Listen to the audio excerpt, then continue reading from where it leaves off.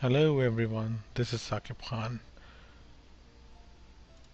Today I'm going to share a very good tip with you guys which make you all good at least once very proud in front of your client.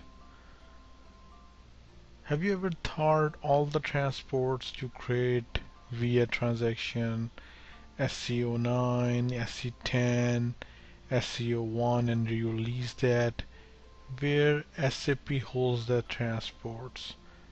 Wouldn't it great that if you can go at the table level and uh, find out who changes what table when when because you're dealing with a certain object sometime you transport and then your colleague transport then some consultant transport and it's get over you know written by so many people.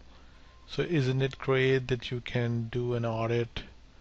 You can run an audit report on that table or develop audit report which will save hours and hours of effort to the client. So I'm gonna disclose the tip with you and it's for free. All you have to do is keep visiting my channel and write comments, questions, and I would love to create a videos for you guys. Okay, so you log into SAP, go to SE16 and give table name E070.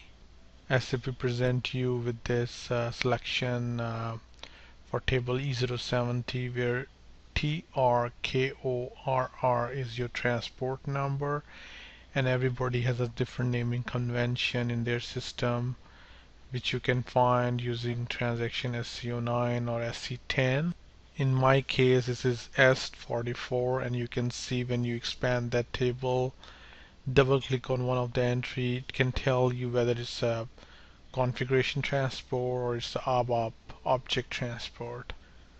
So E070 give you a high level uh, transport number if you recall when you release a transport you have a child transport which holds all the object and you have a parent transport. So you grab your transport number and then come to E071 table. You give the transport number in E071 same table name uh, different table names and same field name TRKORR and voila here you go.